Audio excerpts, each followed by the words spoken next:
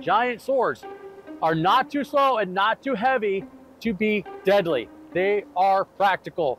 Okay, let me think of an eloquent, persuasive response. No. All right, so with a little more seriousness, are giant swords practical in real life? Well, let's do a bit of a visual experiment. I figured a prop would be neat for this video, so I thought I'll just grab some scrap lumber I have lying around and quickly cut out a basic shape. Three days of filling the garage with sawdust later, we've got this. Well, this was the only grip tape I had left, but after staring at it for several hours during editing, I now realize mistakes have been made. Alright, so what do you think is more dangerous and harder to evade? This? Or that? This? Or that? This? Or that? Can simply dropping a large, heavy, sharpened metal bar on a target do some damage? Sure. Is it easy to hit a moving target that doesn't want this to be dropped on them? Mm. Sorry about the lame background. The garage is just where I have the most space. So I exaggerated how sluggish this is for comedic effect. It is just made of wood.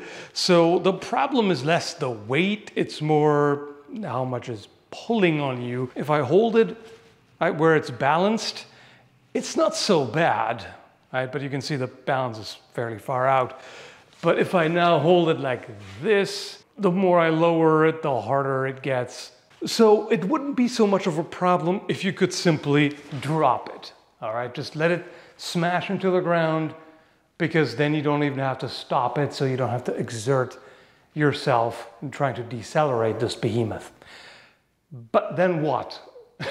then, you know, they do the video game thing of either rolling or just sidestepping or just stepping back to evade it. And then during the time it takes you to hoist this thing back up and attack again, they can mow you down. So, funnily enough, the old Dark Souls roll to win tactic actually makes practical sense against an enemy with far reaching attacks that can't be blocked and that have a lot of recovery time in between although there are plenty of moments where it only works because of invincibility frames. And stepping is a safer, more down to earth alternative, but against a giant weapon, maybe sometimes you would just have to fling yourself a little farther. Now, if the sword is not quite that stupidly heavy, because maybe it's, it's a composite blade, so the core is made of something lighter than steel, and then the edges are made of steel, or if the whole thing is made of some super strong, lightweight fantasy alloy, and it's heavy but not impossibly so, or you have super strength, whatever. There are more things you can do. For example, if you swing and they dodge and then they come in, you can swing right back up.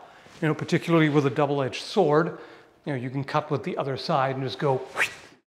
Now, it still is going to be fairly sluggish compared to a regular sword because you have to decelerate it, stop it, and then accelerate it again. So it would be better to keep it moving and bring it around for another swing instead of just letting it crash to the ground. And that's what you do with a real historical greatsword.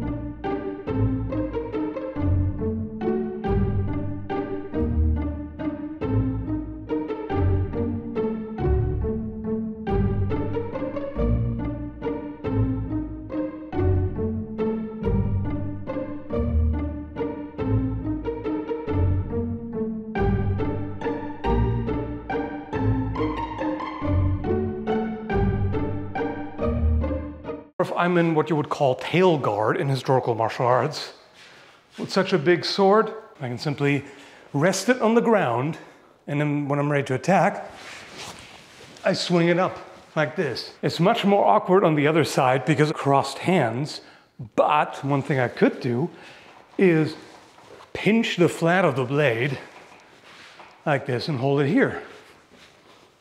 All right, that's a lot easier.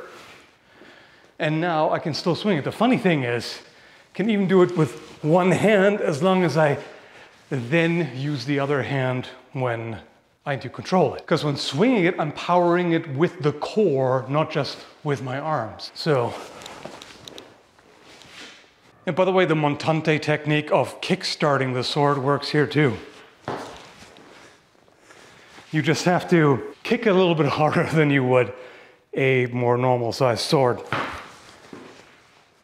So why do smaller historical great swords work while this size, at least if it's made of all steel, doesn't?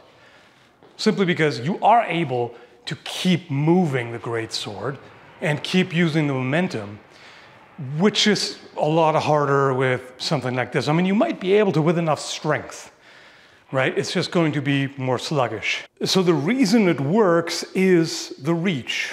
You know, if I perform a false edge cut like this and immediately come back around, you may just not have enough time. You evade the first false edge cut, but then I step back and come around and cut again, right? So you may not have enough time to rush in while that's happening. If I screw up and smash the sword into the ground and now here they come, I might still be able to pull it up to at least defend myself, right? Or perhaps I can raise it up to just present the point and make them think twice about rushing in. So it's not completely ridiculous as long as the thing is not too heavy for you to handle.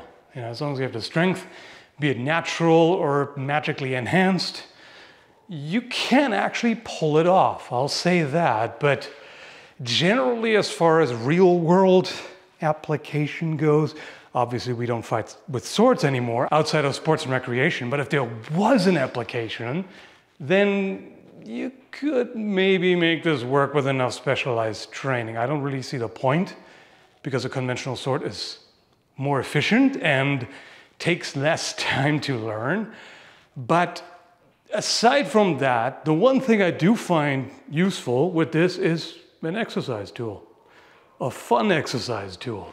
Because, you know, if you just keep swinging this around, you know, say you just do a bunch of cuts. The nice thing is that this is basically a full body workout because you can't just do it with your arms. You, know, you just, this is not really happening. You need to actually um, decelerate and stop it with your core and, and your lower back in particular. It can strengthen the lower back pretty well. So if you do a couple of swings like this, and then switch side. It's definitely harder on this side. Anyway, you get the idea. Thanks for watching. Hope you had fun. Check out my other videos too. Take care, folks.